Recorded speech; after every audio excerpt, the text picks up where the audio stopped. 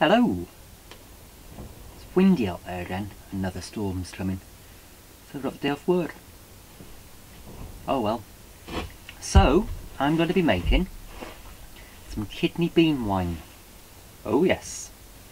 I've never made it before, but it's going to be worth a try.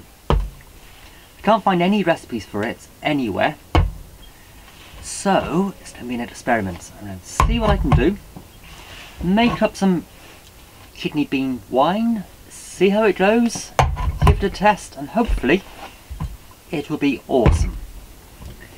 I'm going to be using tinned or canned red kidney beans.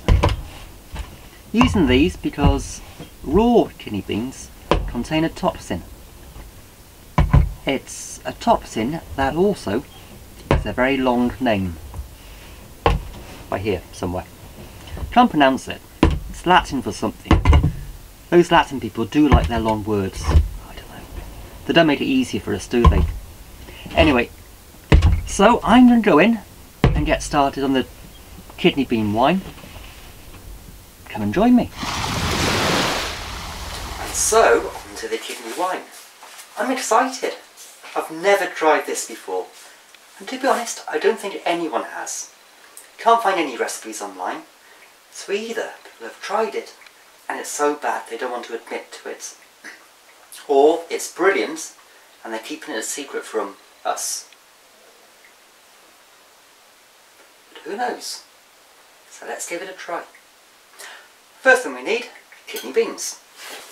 As I said earlier, I'm using kidney beans in a tin. I'm using Morrisons and Cooperative.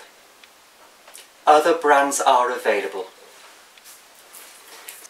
What I'm going to do, put them in a pan and boil them. Once your beans are in the pan, I'm going to add just over a kilo of sugar, or a bit more if you like, followed by 500 grams of raisins or sultanas. This will add a lot more body to the kidney beans and maybe add a, that bit more wine style velocity. I would hope. So here it goes. You can shove it all in, bring it to the boil and boil for an hour. Hello again. Once your kidney beans have been boiling with your raisins and your sugar, you want to let, let it cool, then decant it into your fermenting bucket. So that's what we're going to do now it is. Tidy.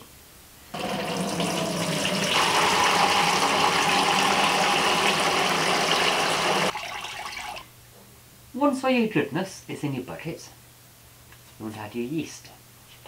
A small sprinkle will do. So just pour some in. Then put your lid on it. Put it somewhere warm for a few days. Let it start fermenting.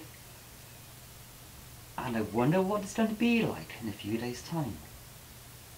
I'll have to wait and find out. Good morning. It's been a few days since I made my kidney wine. Kidney bean wine. It's not kidney wine. I've not tried that yet, kidney wine. It's on the cards though. Anyway, I wrapped it into a demijohn this morning from the primary fermentation bucket. I'm trying to drop now. To be honest, it's a bit of a murky colour it is. Not a bad colour, it's just very thick at the moment, but that will clear out as time progresses. It's what I would call it chocolatey, muddy, dishwaterish colour, really. What you'd find in your grey tank or your bilges on your boat. But hey.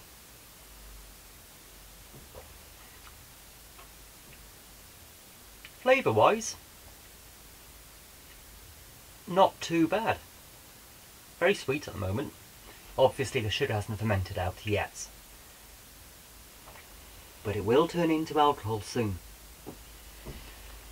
So, I'm going to leave this somewhere warm for the next few weeks and see how it clears, see how it ferments, and hopefully I'll get back to you in a few weeks with an update. So that's my kidney bean wine. You tempted?